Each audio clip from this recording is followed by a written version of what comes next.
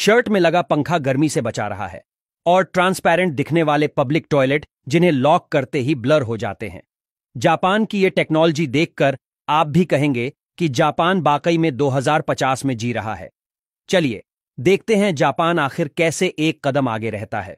सबसे पहले बात करते हैं कपड़े में लगे इस पंखे की, जो गर्मी से राहत देने के लिए लगाया गया है। दरअसल, जापान में कपड़ा बनाने वाली कंपनी ने सबसे पहले पंखे को पालतू जानवरों के कपड़ों में फिट किया था। ताकि इसे पहनने के बाद जानवरों को गर्मी से राहत मिले।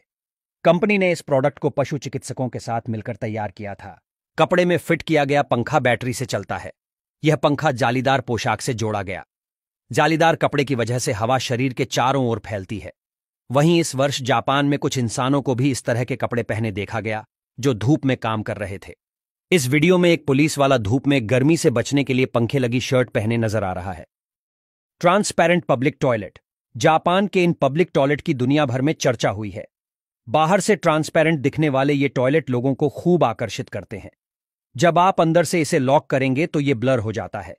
यानी अंदर से लॉक करने के बाद बाहर से कुछ भी दिखना बंद हो जाता है। इस टॉयलेट में खास तरह के ग्लास का इस्तेमाल किया गया है। ग्लास को दीवारों के तौर पर लगाया है। टॉयलेट में बाहर से अंदर की ओर देखा जा सकता है। लेकिन टेक्नोलॉजी का कमाल यह है कि जैसे ही टॉयलेट के अंदर जाकर कोई दरवाजे को लॉक करता है वैसे ही ग्लास से अंदर की ओर दिखना बंद हो जाता है और प्राइवेसी सिक्योर रहती है। जापान ही एक ऐसा देश है जहाँ सबसे पहले बुलेट ट्रेन चलाई गई। साल 1964 में यहाँ बुलेट ट्रेन का सफ़र शुरू हो गया था। हमारे यहाँ जहाँ ट्रेनों का लेट होना आम बात है तो वहीं जापान में सभी ट्रेनें सही समय पर चलती हैं। ऐसा माना जाता है, यहाँ ट्रेन औसतन 18 सेकंड ही लेट हो सकती है। जापान यात्रियों के हर एक सेकंड की अहमियत समझता है। तभी तो पूरे सत्तरा डिब्बों वाली ट्रेन की सफ़ाई करने में महज सात मिनट लगते हैं। यहाँ ट्रेनों की रफ्तार के साथ साथ सुरक्षा का भी बेहद ख्याल रखा जाता है। जापान में बुलेट ट्रेन दुर्घटना में आज तक एक भी व्यक्ति की जान नहीं गई है। जिन पटरियों पर बुलेट ट्रेन दौड़ती है, वे खास तरह से बिछाई जाती हैं। इन पटरियों पर आम रेलगाड़ी नहीं चलती है और ना ही किसी व्यक्ति को आने जाने की इजाज़त होती है।